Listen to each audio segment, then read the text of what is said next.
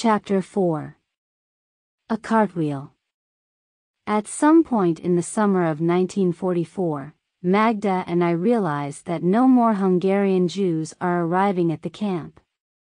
Later we will learn that in July, Prime Minister Horthy, tired of bowing to German authority, put the deportations on hold.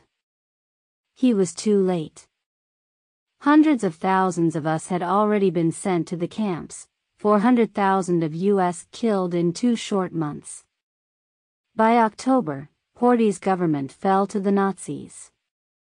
The 200,000 Jews still remaining in Hungary, mostly in Budapest, weren't sent to Auschwitz. They were force-marched 200 miles to Austria. But we didn't know any of this then, we didn't know anything of life or the war outside. One winter morning, we stand in yet another line. The cold bites. We are to be tattooed. I wait my turn. I roll up my sleeve. I present my arm. I am responding automatically, making the motions required of me, so cold and hungry. So cold and hungry that I am almost numb. Does anyone know I'm here? I used to wonder that all the time, and now the question comes at me sluggishly, as if through a dense and constant fog. I can't remember how I used to think.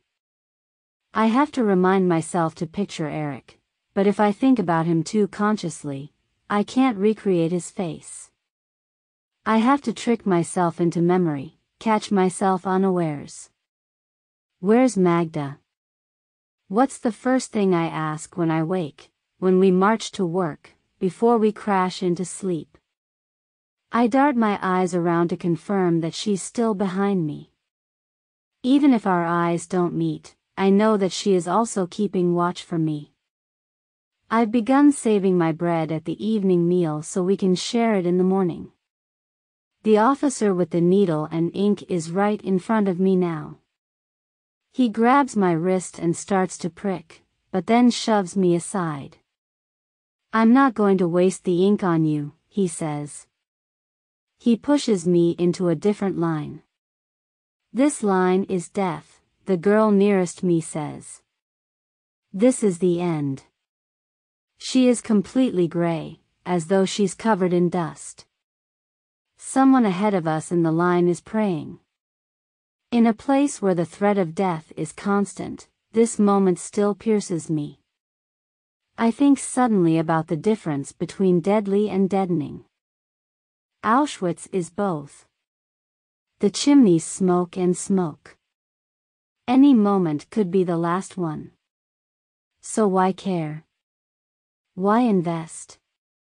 And yet, if this moment, this very one, is my last on earth, do I have to waste it in resignation and defeat? Must I spend it as if I'm already dead?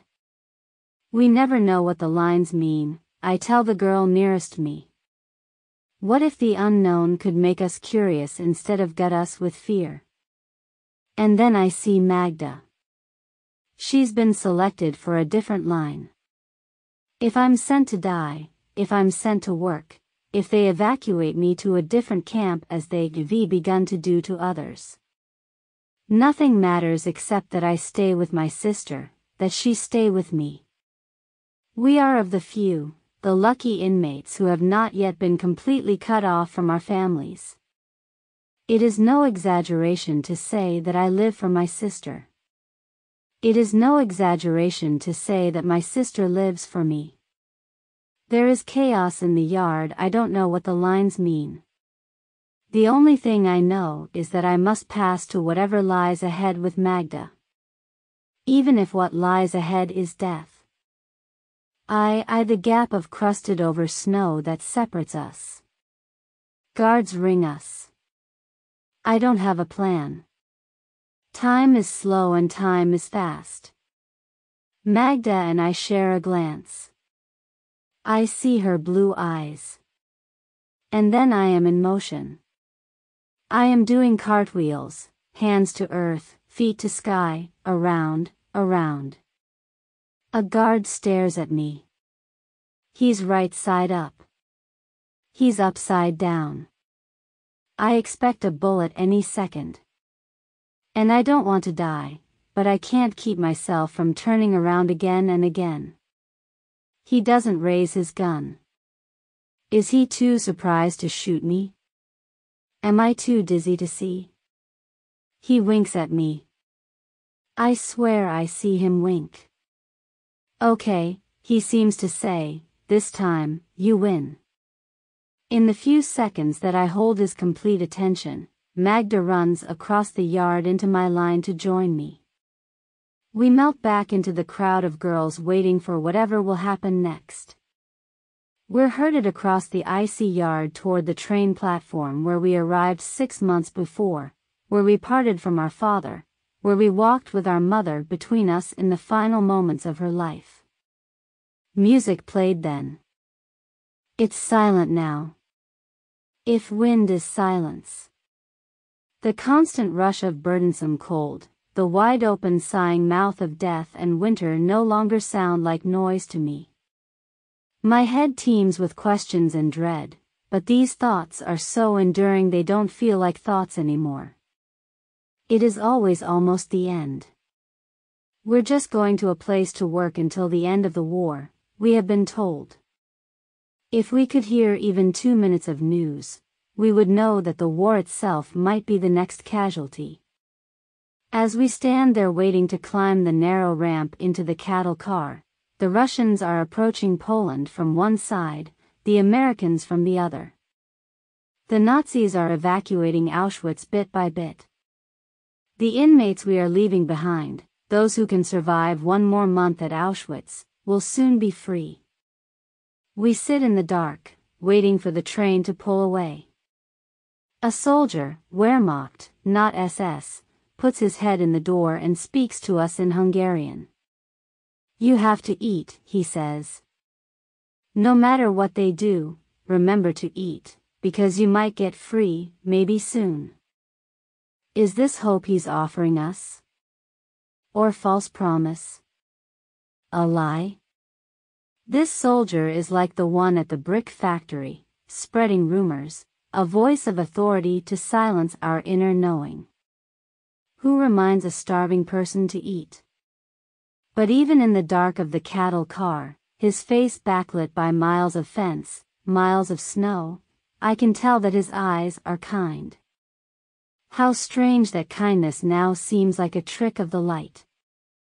I lose track of the time we are in motion. I sleep on Magda's shoulder, she on mine. Once I wake to my sister's voice. She is talking to someone I can't make out in the dark. My teacher, she explains. The one from the brick factory, the one whose baby had cried and cried. At Auschwitz, all the women with small children were gassed from the start. The fact that she is still alive can mean only one thing, her baby died. Which is worse, I wonder, to be a child who has lost her mother or a mother who has lost her child. When the door opens, we're in Germany. There are no more than a hundred of us. We're housed in what must be a children's summer camp, with bunk beds and a kitchen where, with scant provisions, we prepare our own meals. In the morning, we are sent to work in a thread factory. We wear leather gloves. We stop the spinning machine wheels to keep the threads from running together. Even with the gloves on, the wheels slice our hands.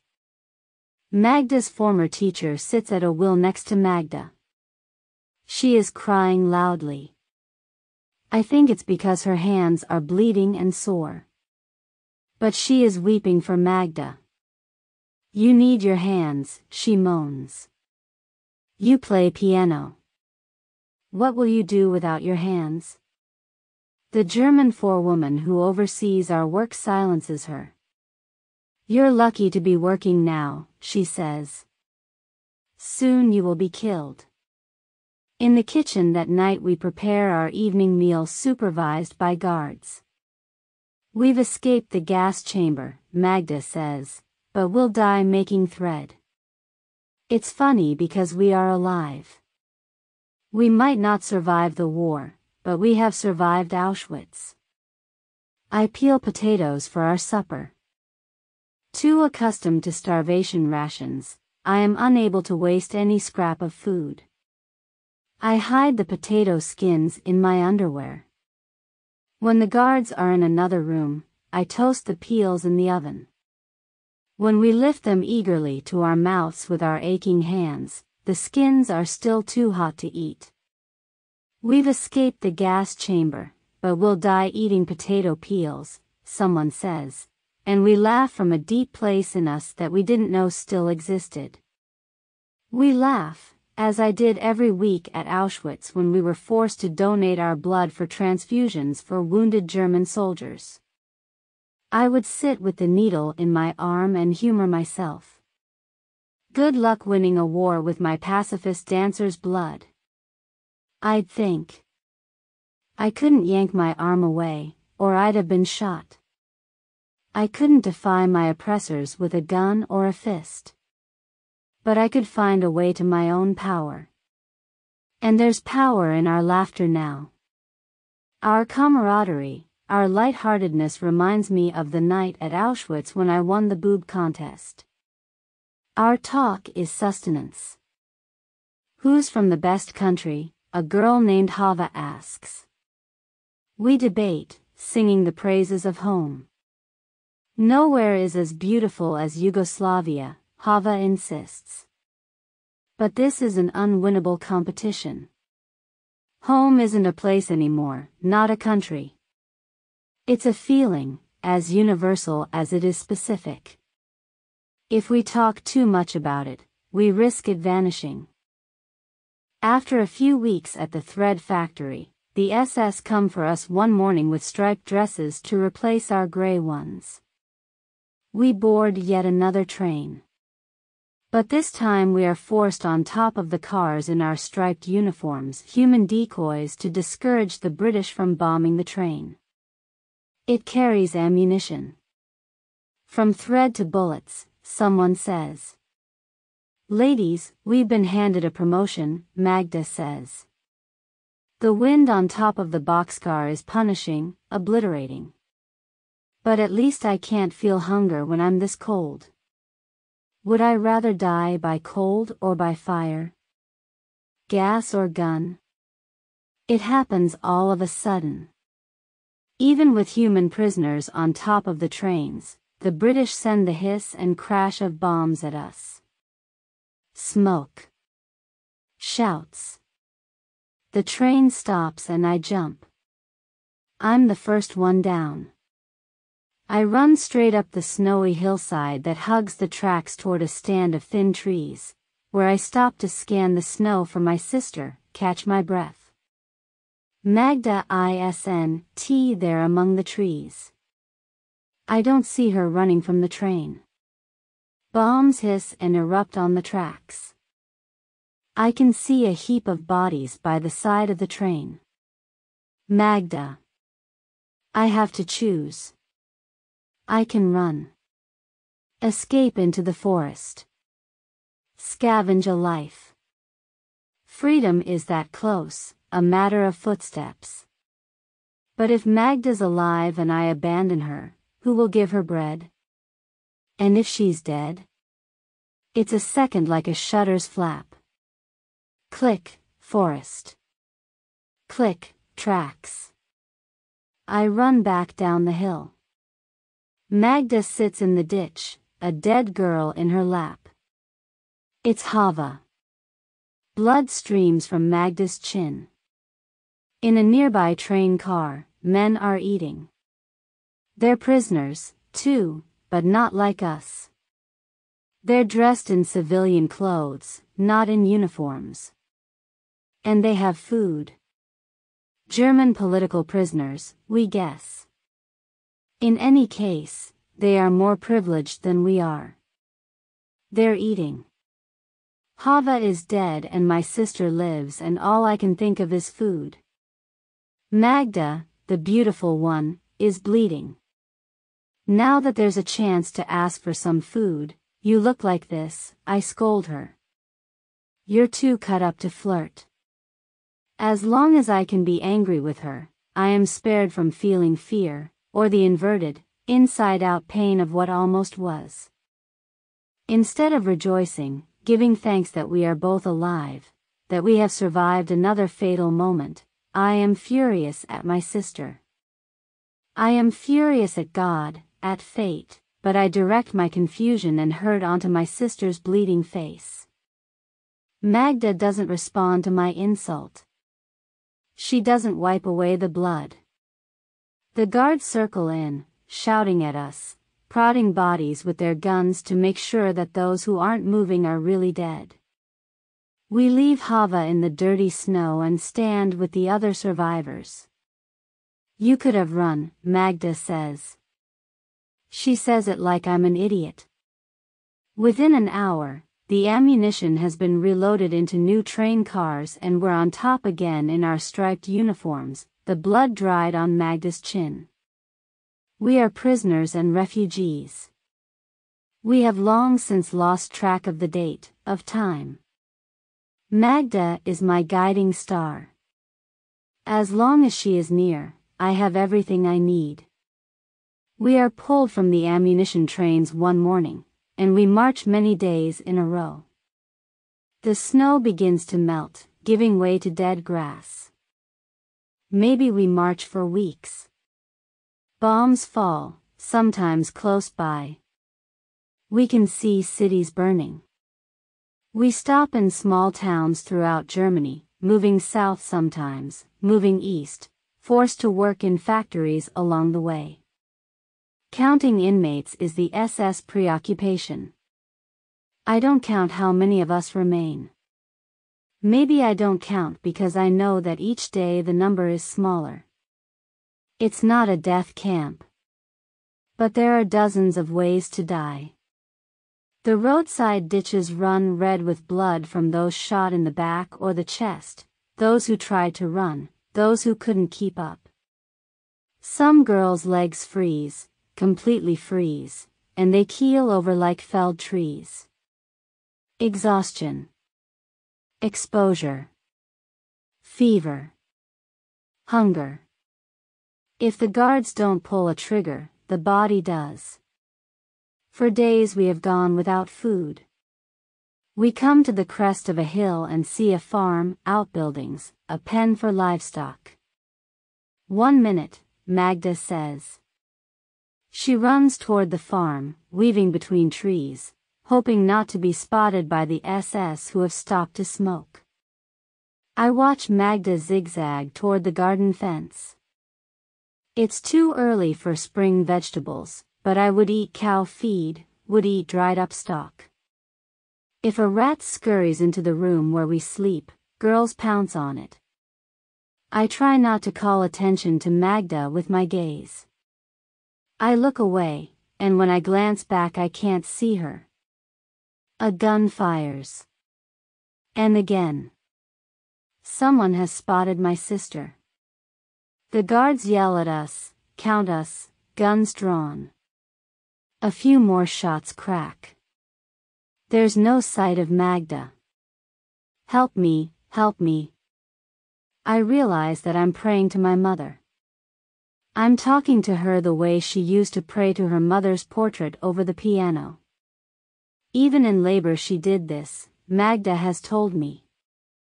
The night I was born, Magda heard our mother screaming, Mother, help me. Then Magda heard the baby cry, me, and our mother said, You helped me. Calling on the dead is my birthright. Mother, help us, I pray. I see a flash of gray between the trees. She's alive. She escaped the bullets. And somehow, now, she escapes detection. I don't breathe until Magda stands with me again. There were potatoes, she says. If those bastards hadn't started shooting we'd be eating potatoes. I imagine biting into one like an apple. I wouldn't even take the time to rub it clean. I would eat the dirt along with the starch, the skin. We go to work in an ammunition factory near the Czech border. It is March, we learn. One morning I can't get off the bench in the shed-like dorms where we sleep. I'm burning with fever, shaking and weak. Get up. Magda orders me. You can't call in sick. At Auschwitz, the ones who couldn't work were told they'd be taken to a hospital, but then they disappeared. Why would it be any different now? There's no infrastructure for killing here, no pipes laid, bricks mortared for the purpose. But a single bullet makes you just as dead. Still, I can't get up. I hear my own voice rambling about our grandparents. They'll let us skip school and take us to the bakery. Our mother can't take away the sweets. Somewhere in my head I know I am delirious, but I can't regain my senses. Magda tells me to shut up and covers me with a coat, to keep me warm if the fever breaks, she says, but more so to keep me hidden. Don't move even a finger, she says. The factory is nearby, across a little bridge over a fast stream. I lie under the coat, pretending not to exist, anticipating the moment when I will be discovered missing and a guard will come into the shed to shoot me. Will Magda be able to hear the gunshot over the noise of the machines? I swirl into delirious sleep. I dream of fire. It's a familiar dream, I have dreamt for nearly a year of being warm. Yet I wake from the dream, and this time the smell of smoke chokes me. Is the shed on fire? I am afraid to go to the door, afraid I won't make it on my weak legs, afraid that if I do I'll give myself away. Then I hear the bombs. The whistle and blast. How did I sleep through the beginning of the attack? I pull myself off the bench. Where is the safest place? Even if I could run, where would I go? I hear shouts. Factories on fire. Factories on fire, someone yells. I am aware again of the space between me and my sister, I have become an expert at measuring the space. How many hands between us? How many legs? Cartwheels? Now there's a bridge. Water and wood. And fire. I see it from the shed door where I finally stand and lean against the frame. The bridge to the factory is ablaze the factory swallowed in smoke. For anyone who has lived through the bombing, the chaos is a respite. An opportunity to run. I picture Magda pushing out a window and dashing for the trees. Looking up through the branches toward the sky. Ready to run even as far as that to be free. If she makes a run for it, then I'm off the hook. I can slide back down to the floor and never get up. What a relief it will be. To exist is such an obligation. I let my legs fold up like scarves. I relax into the fall. And there is Magda in a halo of flame. Already dead. Beating me to it. I'll catch up.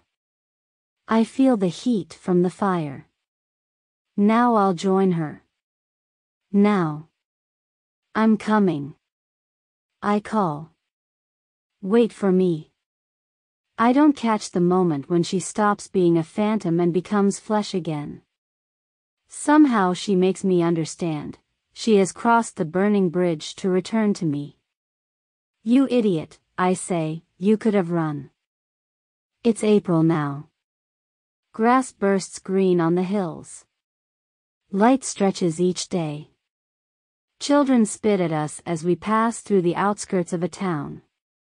How sad, I think, that these children have been brainwashed to hate me. You know how I'm going to get revenge? Magda says. I'm going to kill a German mother. A German kills my mother, I'm going to kill a German mother. I have a different wish.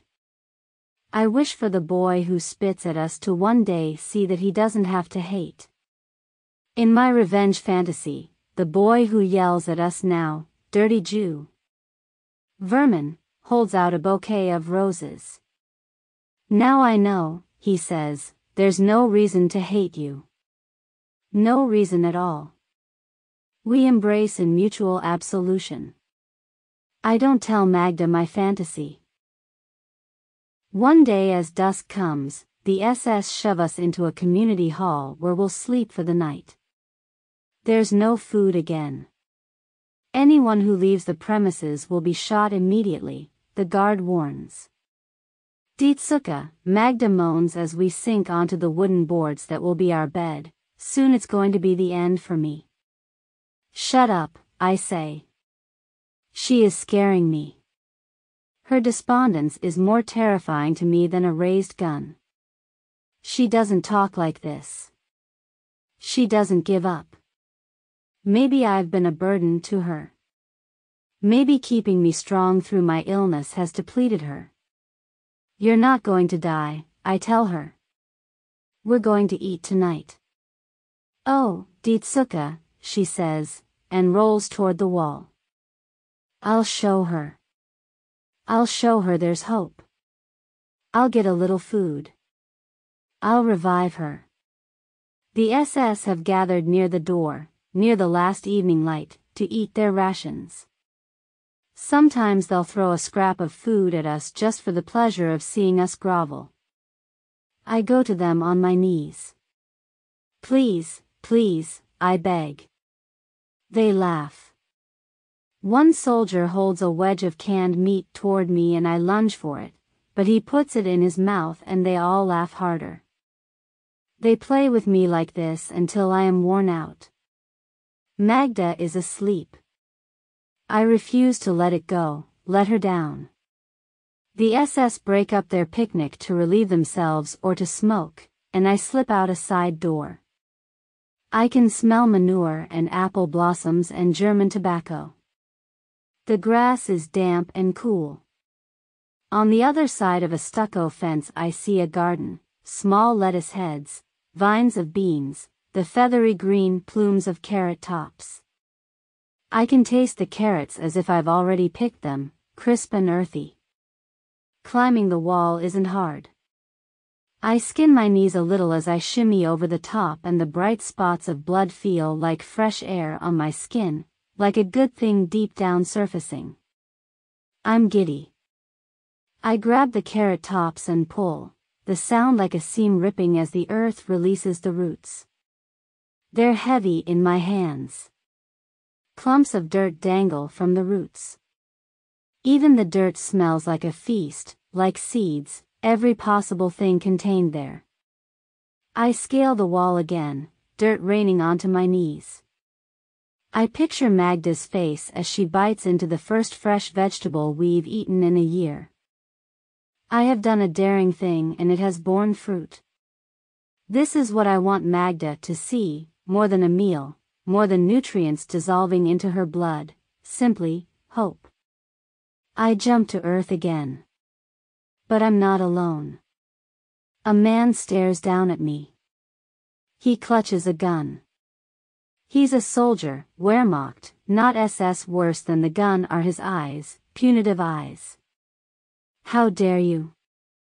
His eyes say. I'll teach you to obey. He pushes me down to my knees. He cocks the gun and points it at my chest. Please, please, please, Please. I pray like I did with Mengele. Please help him to not kill me. I'm shivering. The carrots knock against my leg. He puts the gun down for a brief second, then raises it again. Click. Click. Worse than the fear of death is the feeling of being locked in and powerless, of not knowing what will happen in the next breath. He yanks me to my feet and turns me toward the building where Magda sleeps. He uses the butt of his gun to shove me inside. Pissing, he says to the guard inside, and they chuckle crassly. I hold the carrots folded in my dress. Magda won't wake up at first. I have to put the carrot in her palm before she'll open her eyes.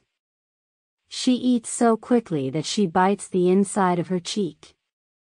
When she thanks me, she cries. The SS shout us awake in the morning. Time to march again. I am starving and hollow and I think I must have dreamt the carrots, but Magda shows me a handful of greens she has tucked in a pocket for later. They have wilted. They're scraps that in a former life we would have thrown away or fed to the goose in the attic, but now they appear enchanted, like a pot in a fairy tale that magically fills with gold. The drooping, browning carrot tops are proof of a secret power. I shouldn't have risked picking them, but I did. I shouldn't have survived, but I did. The shoulds aren't important. They aren't the only kind of governance. There's a different principle, a different authority at work. We are skeletal. We are so sick and undernourished that we can barely walk, much less march, much less work. And yet the carrots make me feel strong. If I survive today, tomorrow I will be free. I sing the chant in my head. We line up in rows for the count. I'm still singing to myself. Just as we're about to head out into the chilly morning for another day of horrors, there's a commotion at the door. The SS guard shouts in German, and another man shouts back, pushing his way into the room. My breath catches and I grab Magda's elbow so that I don't fall over. It's the man from the garden. He's looking sternly around the room. Where is the girl who dared to break the rules, he demands. I shake. I can't calm my body. He's back for revenge. He wants to mete out punishment publicly. Or he feels he must. Someone has learned of his inexplicable kindness to me, and now he must pay for his risk. He must pay for his risk by making me pay for mine. I quake, almost unable to breathe. I am so afraid. I am trapped. I know how close I am to death. Where is the little criminal? he asks again. He will spot me any second. Or he will spy the carrot tops poking out of Magda's coat. I can't bear the suspense of waiting for him to recognize me. I drop to the ground and crawl toward him. Magda hisses at me, but it's too late. I crouch at his feet. I see the mud on his boots, the grain of the wood on the floor. You, he says. He sounds disgusted. I close my eyes. I wait for him to kick me. I wait for him to shoot. Something heavy drops near my feet. A stone? Will he stone me to death, the slow way? No. It's bread. A small loaf of dark rye bread. You must have been very hungry to do what you did, he says. I wish I could meet that man now. He's proof that 12 years of Hitler's Reich isn't enough hate to take the good out of people. His eyes are my father's eyes. Green. And full of relief.